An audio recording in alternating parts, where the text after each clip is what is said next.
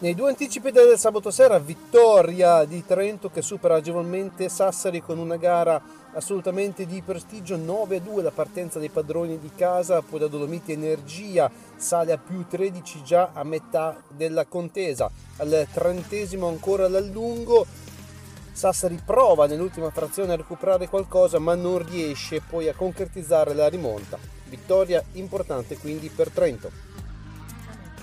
Male invece la Segafredo che perde per la terza volta consecutiva in campionato tra le mura amiche della Segafredo Arena, questa volta contro Brindisi che segna 12 punti in più rispetto alla propria media stagionale nel campionato e porta a casa una gara quasi sempre condotta, soprattutto grazie anche all'ottima prestazione oltre l'arco.